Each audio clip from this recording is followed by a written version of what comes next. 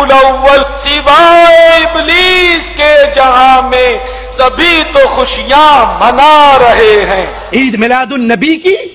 کا یہ جشن، یہ عید، یہ خوشی ابلیس کے علاوہ سب خوش ہو رہے ہیں۔ ہم ایک چھوٹا سا سوال کرتے ہیں۔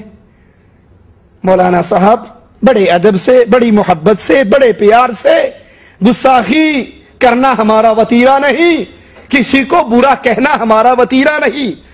ہم تو آئیڈیل مانتے ہیں تو محمد اور اس کے صحابہ کی جماعت کو آئیڈیل مانتے ہیں، صلی اللہ علیہ وسلم۔ کیا ابو بکر عمر کی جماعت نے، کیا صحابہ کرام نے اس طرح جلوس نکالے؟ اگر آپ کہتے ہو یہ جلوس نہ نکالنے والا، یہ خوشی نہ کرنے والا ابلیس ہے، تو صحابہ کی جماعت پہ کیا فتوہ لگے گا؟ تابعین کی جماعت پہ کیا فتوہ لگے گا؟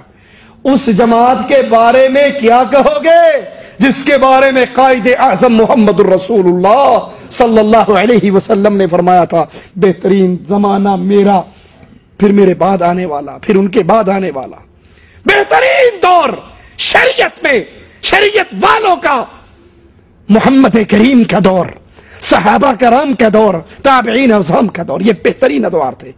کہ ان ادوار کے اندر یہ جلوس نہیں نکلے یہ بھنگڑے نہیں ڈلے یہ مکہ مدینہ کے ماڈل بیت اللہ اور مسجد نبوی کے ماڈل نہیں بنے۔ چار پتھر رکھ کر، مصنوعی پہاڑی بنا کر، گھر میں سے پائپ لا کر، اس میں لگا کر زمزم کا نام نہیں دیا گیا۔ نکلی داڑیاں نہیں لگی، چمٹے نہیں بجے، گانوں کے رقص نہیں ہوئے۔ ڈھول، گانے، دھمال، یہ نہیں ڈلی۔